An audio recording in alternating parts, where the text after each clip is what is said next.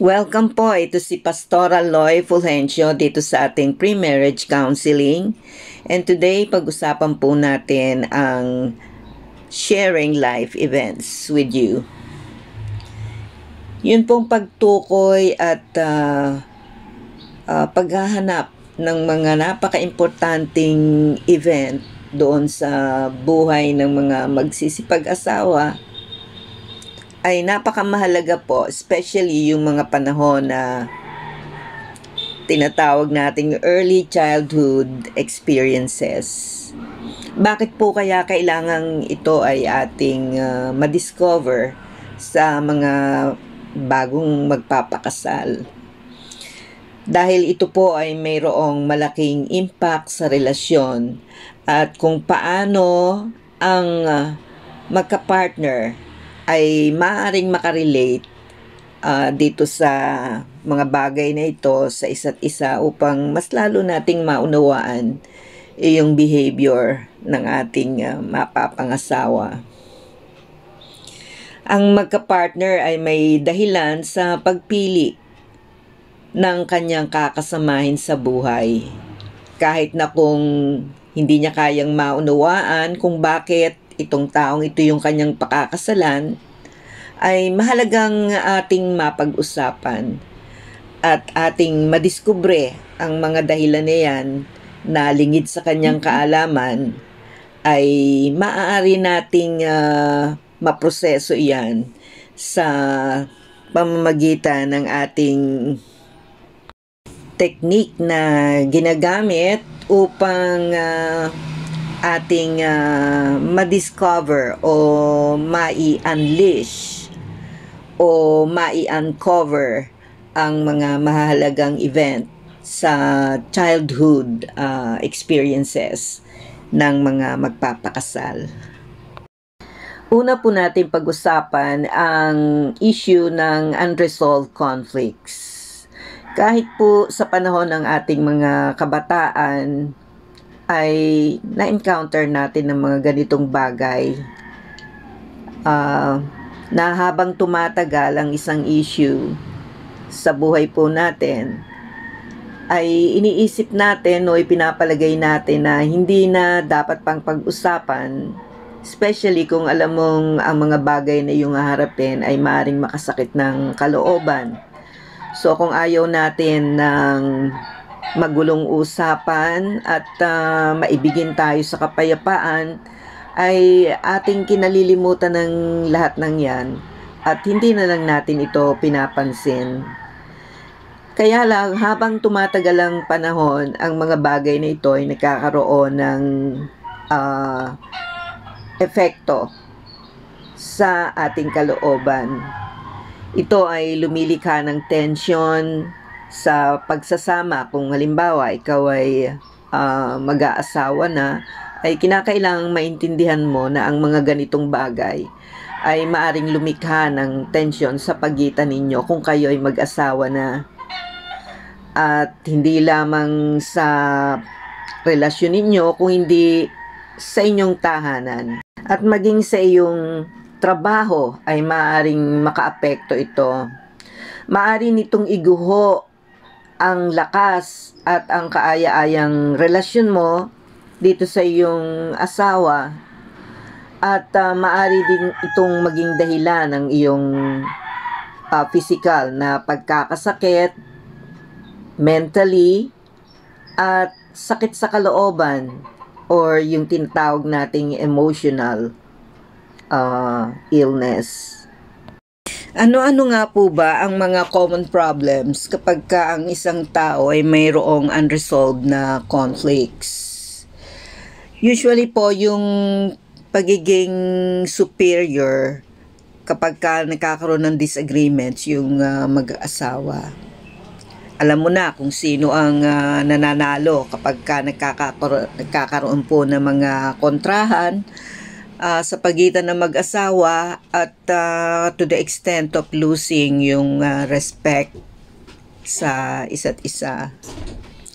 O kung minsan po yung sarcasm o yung pagiging critical ng isang tao uh, para bang uh, uh, sa tingin nila ay smart sila kapag uh, sila ay masyadong nagiging critical uh, to the extent na uh, magkaroon ng uh, ang sakit sa kalooban itong kanyang kapartner na kadalasan po talagang intentional. Uh, yung pagtawag sa hindi mo naman pangalan pero bibigyan kanila ng isang pangalan na na uh, para bang tingin nila eh nararapat para sa iyo at pipili sila ng isang napaka-negatibong pangalan na talagang ikasasakit ng kalooban mo and that's how they will call you. At ang pinakamatindi po niyan, yung bang mag-asawa kayo pero kapag ka nagkakaroon ng mga problema, ay hindi nga kumikibo at hindi sinasabi sa iyo pero at the back of you, ikukwento ka kung kani-kaninong mga kaibigan niya para lang ma-relieve yung sakit ng loob niya or whatever na gusto niya na uh, makuha na hindi niya nakuha sa iyo uh, sa ganitong paraan ay nagiging uh, rebellious. Uh, ikukwento ka kung kani-kanino not minding kung ikaw ay mapapahiya sa ibang tao o masisira ang reputation mo uh, napakasakit po niyan kung uh, mismong asawa mo ang gagawa ng ganito sa iyo. At ang lahat po ng ito ay maaring it can lead to mental health uh, issue. Isa ho sa attitude ng isang tao na merong unresolved conflict ay yung pagiging territorial. Uh, meron pong ganyang klaseng attitude ng tao na uh, para po bang uh, uh, ginagawa niya ang lahat ng ito para po uh, maging uh, ma-establish niya yung kanyang pagiging dominante sa iba't ibang aspeto ng buhay may asawa. Uh, yun ho yung sa madalit sabi natin eh, yung bang feeling na gusto niyang maging under ang kanyang uh, uh, asawa. Itong mga ganitong uh, attitude ng isang tao ay nagdudulot ng stress sa sa kanyang asawa. Uh, not minding kung ano ang maaaring ibunga ng stress na ito sa kalooban. At hindi lang yon sapagkat kung minsan yung bang pagpipigil natin ng ating galit Uh, hindi dahil natatakot tayo sa kanya, kung hindi dahil natatakot tayo doon sa mga bagay na maari nating magawa, ay tumataas po ang ating heart rate.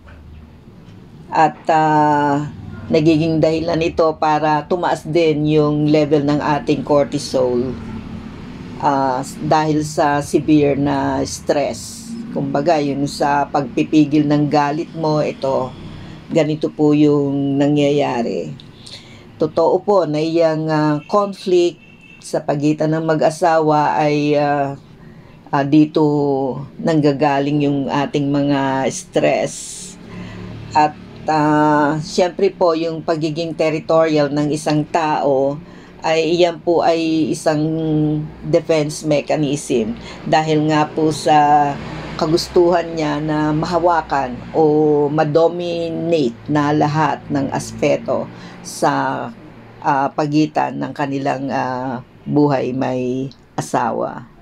Meron pong dalawang klase ng hormones na inire-release ang isang maliit na bahagi ng ating brain. Ito po yung adrenaline at saka yung cortisol.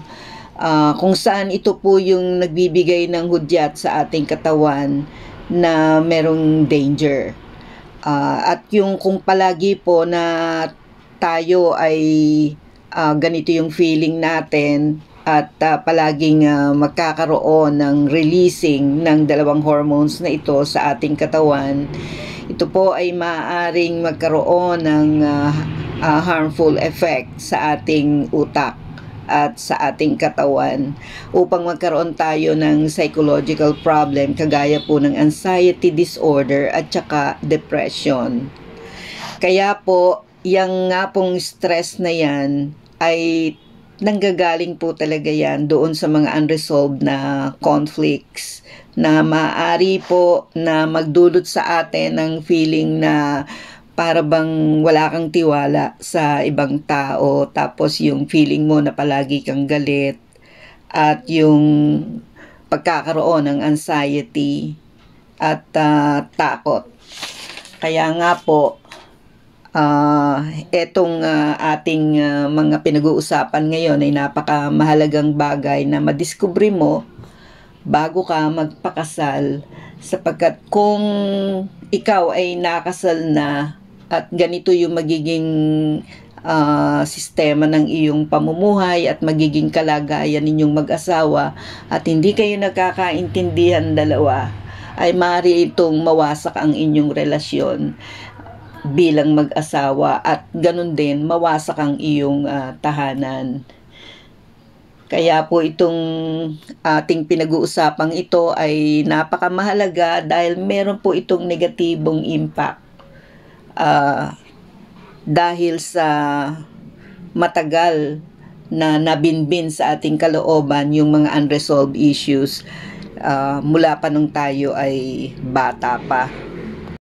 At sa pagtatapos po ng ating usapan tungkol dyan, ay nais ko pong iwan sa inyo at inform na ito pong wariness uh, ay more likely pwede ho kayong mamatay ng maaga. Yan po yung uh, pinaka uh, epekto, pinakamasamang epekto uh, na maaaring mangyari uh, sa pagitan o sa buhay ng mag-asawa kapag ka hindi naayos agad ang uh, problemang yan. At ang isa pa po ay it also can lead to a serious mental health issue. Kaya po, uh, babala po a warning para sa lahat ng mga nag-aasawa at ganun din po doon sa mga nagkaroon na ng asawa at may mga pamilya na ay kinakailangan po na ang mga ganitong problema, mental health uh, problem ay nare-resolve o uh, dumadaan sa isang proseso upang maging maayos ang lahat. Uh, ako si Delmar Bahanay uh, nakatira po sa Acacia. Tapos po, uh, uh, yung trabaho ko, ano, associate ko. Tapos po, uh, kung bakit ako magpa kung bakit po kami magpapakasal, nagkasundo po kami. Since ano na po kami, mag-11 years na po. Tagal na ano. Ah, uh, ayun na po. Diretso na namin sa kasal po. Kasi oh, nga. Ang cute ng buhok mo. Ayun po.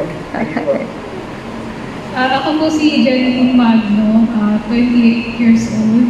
Nakatira po sa Potrero, Malabon.